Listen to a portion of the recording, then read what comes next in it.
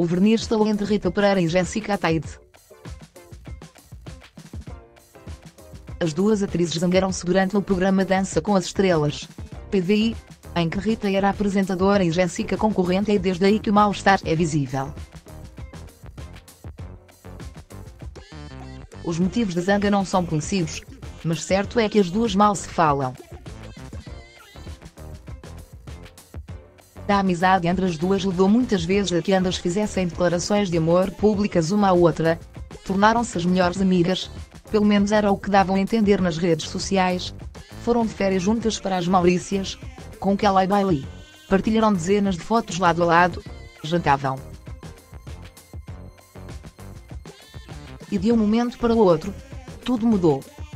Jéssica não foi ao aniversário da Rita Pereira, 13 de março, nem lhe deu os parabéns nas redes sociais como era de costume e como muitas figuras públicas deram.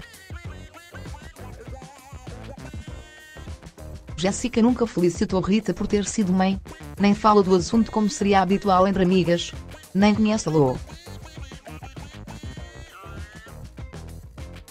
O mesmo acontece ao contrário. Rita não fala de Jéssica nem da gravidez da atriz. Recorde-se que Jessica Ataide não foi convidada para a gala final de Dança com as Estrelas, que todos os ex-concorrentes da edição estiveram presentes. Jessica Ataide teve um baby shower este fim de semana, mas mais uma vez Rita não esteve presente. A festa foi organizada por Inês Castelo Branco, mas sabe a Maria que Rita não estava na lista. Num baby shower de Jessica Ataide estiveram presentes várias figuras públicas amigas da atriz. É o caso de Inês Castelo Branco, a organizadora do evento, Filipe Vargas, Joana Ribeiro, Paula Lobo Antunes, Júlia Palha, Rita Ferro Rodrigues e Luís Borges. O nascimento de Oliver, fruto da relação da estrela da TV com o ator Diogo Amaral, está previsto para este mês. Não foi organizado por mim e recebi a localização uma hora antes. E foi um dos meus sítios preferidos em Lisboa. Estou mega de tantos doces, ótimos, que comia de tanto amor que recebi. Dos presentes, às flores, as cartas e o mais importante, os abraços e beijinhos que recebi de pessoas que admiro.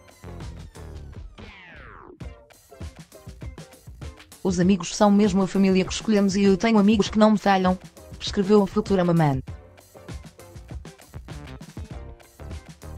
Veja algumas imagens da festa na galeria. Quanto aos filhos que marcam a estreia de Inês Herédia e Gabriela Sobral na maternidade, Tomás e Luís, esses nasceram no dia do 29. Aniversário da atriz. A gestante, a 27 de dezembro do ano passado. A também cantora e a ex-diretora de programas da SIC casaram-se a 10 de fevereiro do mesmo ano.